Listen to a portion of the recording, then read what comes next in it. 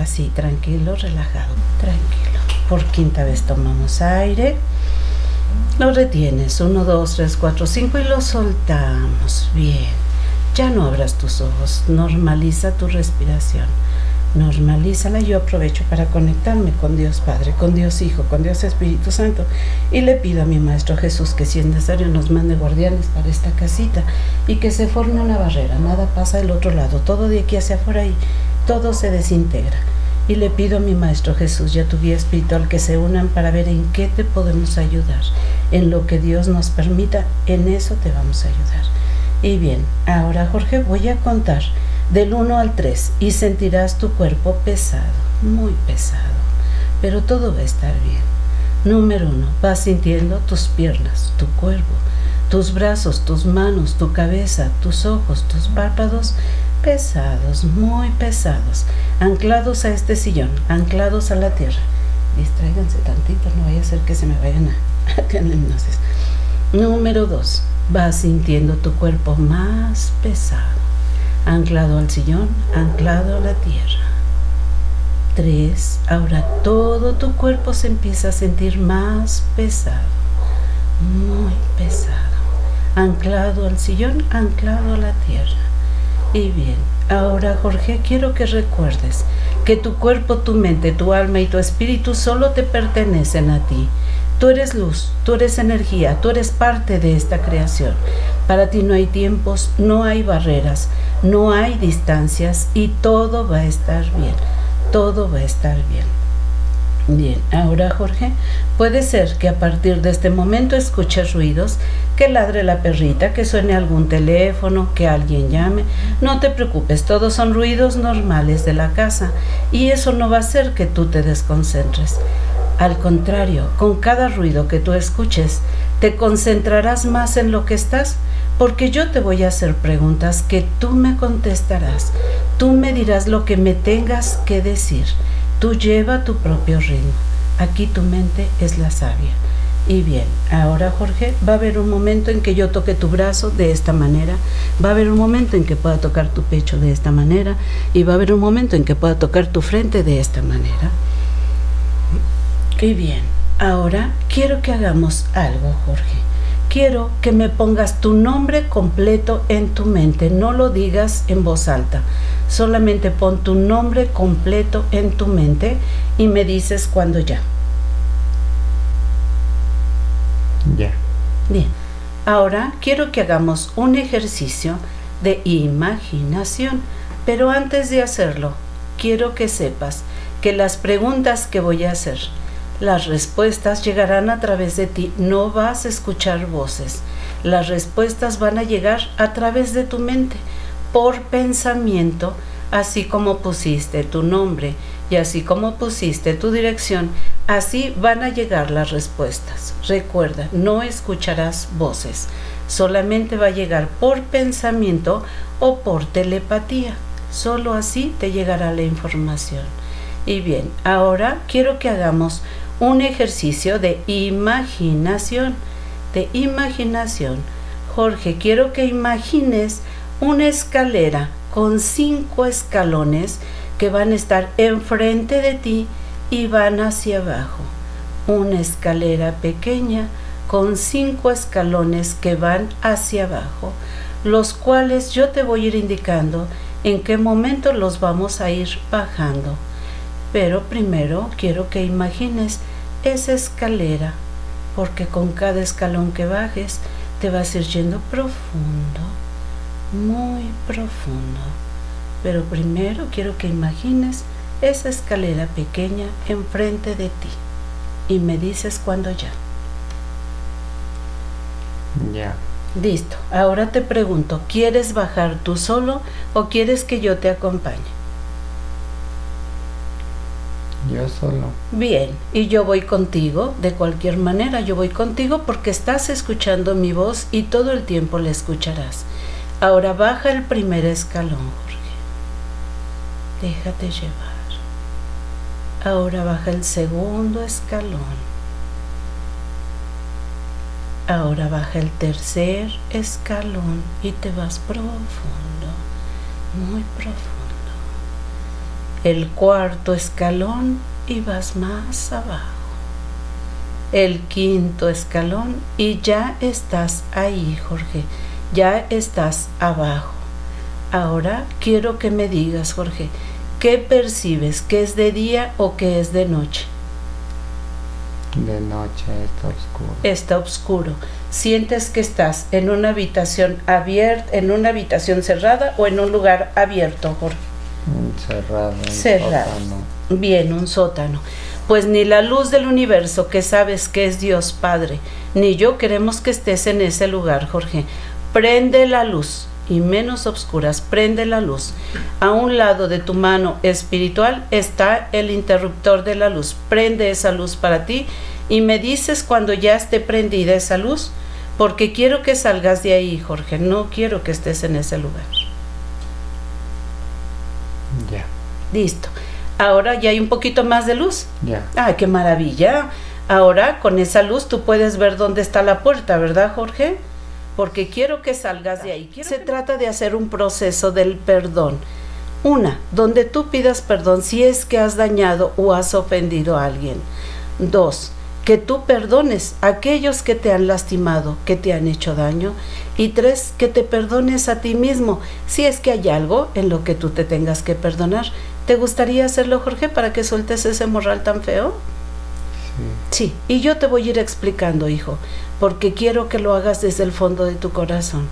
Y sabes, primero vamos a empezar pidiendo perdón a aquellas personas que tú hayas podido haber lastimado u ofendido, consciente o inconscientemente, porque tú sabes que muchas veces hasta con el pensamiento podemos hacer daño, ¿verdad que sí? Sí. Entonces, hoy quisieras pedirle perdón a esa gente que a lo mejor en algún momento pudiste haber ofendido o le pudiste haber hecho daño. Sí. Sí, entonces lo vas a decir primero conmigo y después tú con tus propias palabras y al final dirás y que la luz del universo se entere. Yo, Jorge, El día de hoy me perdono el día de hoy me perdono por el daño cometido a este cuerpo, por el daño cometido a este cuerpo, consciente e inconscientemente, consciente e inconscientemente, y que la luz del universo se entere. y que la luz del universo La luz del universo ya desintegró esas energías que traías en ese morralito y muchas veces hasta ese morral feo se llevan. En tu caso dime, eso que pesaba poquito o lo que haya sido ya no debe de estar, pero dime, ¿el morral también se fue o sigue pesando? A ver, tú dime. está tirado. Está tirado, ya no lo traes cargando. No. ¡Qué maravilloso! ¿Qué se siente no traer esa carga? Más ligero. Más ligero, ¿cómo no? Pues si ya soltaste lo que traías cargando, bendito sea Dios. Ahora chécame y revisa lo de tu problema de tu vista, lo del glaucoma. ¿De dónde viene lo del glaucoma? ¿Es de esta vida o de una vida anterior? ¿Qué tipo de emoción te ocasiona ese glaucoma? Si es de, De esta otra vida. de otra vida. Ok. Te pregunto algo, ¿quieres que vayamos a ver de dónde viene? Sí. Sí, vámonos hacia atrás, tú lo puedes hacer. Vámonos hacia atrás, búscame la raíz. Tú lo puedes hacer, tú eres luz, tú eres energía. Vámonos hacia atrás, cuento hasta tres y búscame la raíz. Ahí está en tu mente. Uno, dos, tres, ya está ahí en tu mente. En un bosque con un caballo. En un bosque con un caballo. ¿Eres hombre o eres mujer? No sé por qué. Un hombre me metió algo en el ojo. Un hombre te lastimó. ¿Estabas peleando con él? ¿O fue accidental? Tengo algo metido en el ojo. Ok. ¿Cómo te llamas? ¿Cuál es tu nombre? Luis, Luis. Luis, ¿en dónde vives, hijo? ¿En qué ciudad vives? Francia. Francia. Bien. ¿A qué te dedicas, Luis? Campesino. ¿Eres joven o eres una persona mayor? Joven. Joven. ¿Eres casado? ¿Tienes familia? Hijos. ¿Cuántos hijitos tienes? dos, Dos hijos. Ok. Bien. ¿Qué año es, Luis? ¿Qué año es? 1817. 1817. Antes de que te pasara este, esta, esta situación, ¿eres feliz, Luis? Sí, Sí. ¿Eres de clase humilde? sí. Sí. Bien. Ahora búscame el por qué te lastimó esa persona. ¿Qué fue lo que pasó? Nárrame qué fue lo que pasó. Yo estoy en el bosque Estoy en el bosque. Ajá. viene en su caballo, Ajá. ¿Lo conoces? trae una capa roja. Trae una capa roja. ¿Lo conoces? No, ¿Nunca lo habías visto a esta persona? Ok. pero me trató mal, me tiró Me trató mal y me tiró. y con su espada me pegó Ajá. Me pegó. Ajá. y de repente se me metió eso en el ojo Ajá. derecho. Me dice cosas, me grita, me grita muchas cosas. ¿Él traía algún coraje contigo? Por pobre, Porque eres pobre. ¿Y él es de familia rica, acomodada? muy rico. Muy rico. Pero es prepotente, el tipo. Sí, Uy, qué cosa. ¿Me dejas hablar con él, Jorge? sí. Sí, déjame hablar con él. Préstale tu mente y tus labios. Luis, préstale tu mente y tus labios. Quiero hablar con él. Un, dos, tres, cambio. Hola, buenas tardes. Hola. Hola, Oye, que tienes mucho dinero. mucho. Mucho. ¿Y sabes que acabas de lastimar a Luis? Sí, ¿Por qué lo hiciste, hijo? No merecía. ¿Por qué? Dime por qué. Yo quiero saber. ¿Por qué se lo merecía? Por pobre. Ah, ¿no te gustan los pobres? Ah, no, Ay, híjole. ¿Y qué crees? ¿Tú, tú qué, qué religión eres tu hijo? ¿De qué religión eres? ¿Qué religión profesas? el diablo, el diablo, el diablo, el diablo. Uy, qué cosa. Bueno, y por eso le hiciste daño a este pobre muchacho. Sí, Oye, y yo te quiero pedir algo. ¿No le quieres pedir perdón porque lo lastimaste? no, ¿Por qué? no. Es que sabes, si tú le pides perdón, tú vas a estar bien y Luis también va a estar bien. No lo quieres perdonar, no le quieres pedir perdón. Pídele perdón. Yo sé que eres bueno. Sabes solo que el dinero los apantalla y se creen así como que se creen mucho, pero yo sé que eres noble, hijo. ¿Le quieres pedir perdón? Porque lo lastimaste. ¿Me va a servir de algo? Claro que sí. Te va a servir de mucho. Yo sé de lo que te hablo. Voy a estar bien. Por supuesto que vas a estar bien si le pides perdón. Bien, dile Luis, perdóname. Luis, perdóname. Bien. Luis, ¿quieres perdonar a este joven que estaba equivocado, hijo? ¿Lo quieres perdonar? Porque sabes, Luis, si tú lo perdonas, esa soberbia que él traía, pues es lo que les da el poder y el dinero. Y tú sabes que eso no es bueno, hijo. Pero lo quieres perdonar porque tú te liberarías de algo que no, no vale la pena andar cargando, hijo. Y tú eres muy noble. ¿Lo quieres perdonar, Luis? Perdónalo desde el fondo de tu corazón, hijo. Dile, Luis, yo te perdono con mucho amor Yo te perdono con mucho amor y te deseo y te deseo que la luz del universo te acompañe siempre.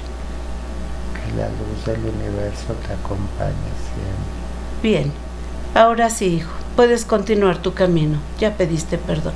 Gracias, gracias y que la luz del universo te acompañe. Adiós.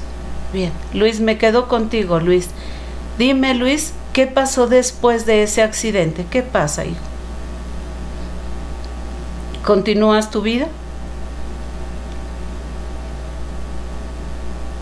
No, ¿Ahí termina? después de un rato termina. Ok, llévame al final de esa vida, Luis. Llévame al final de esa vida. Dime cómo fue tu final. Me quedé solo en el bosque. Me quedé solo en el bosque, dolor mío. con mucho dolor de tu ojo. No te- ¿Nadie te atendió? No había nadie. No había nadie. Mucha sangre. Mucha sangre, mi hijo. Gritaba. Bien. Llévame al último instante, no lo vivas, solo llévame al último instante, en el momento en que terminas, porque quiero saber si te fue fácil desprenderte de ese cuerpo. No sentí solo. Solo cerré los ojos. Solo cerraste los ojos. ¿Te pudiste ir a la luz, Luis? Sí, hay una luz muy grande. Sigue esa luz, Luis. Sigue esa luz. Porque ya perdonaste. Ya liberaste lo que traías. Ya te diste cuenta que era un tontito igual que otros que se equivocan en el camino. Pero ya perdonaste, hijo. Sigue esa luz. Y cuando llegues a la luz, tú me dices. Estoy ahí. Ya estás en la luz. Bendito sea Dios. Luis, ¿tú sabes que eres la misma esencia ahorita de Jorge? Sí, Sí. ¿Y sabes que Jorge trae arrastrando esta energía de esa vida pasada, hijo, ahora que estás en la luz? sí. Sí. Oye, Luis, ya que estás en la luz, ¿quieres pedir permiso para que te puedas llevar las energías que hayan quedado en este cuerpo o en otros cuerpos, en esta vida o en otras vidas? ¿Me ayudas, Luis, a llevarte esas energías, hijo? Ya no se necesitan. Sí, pide permiso, hijo, llévate todo. Limpia a Jorge de esa energía que no le correspondía, hijo. Listo, qué bonito. Oye, Luis, ¿hay algo más que Jorge estaba cargando de esa vida, de ese tiempo? Porque si es tu misma energía. Dolor. Ese también ya te lo llevaste ahorita con la energía, ya te llevaste ese dolor. Ah, qué maravilloso.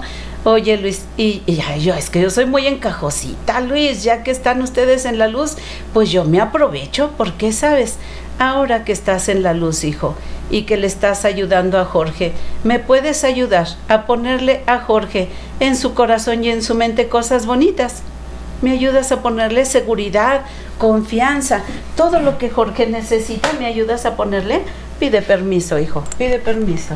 Yo le voy a tocar porque quiero transmitirle todo lo que la luz del universo hoy le va a dar.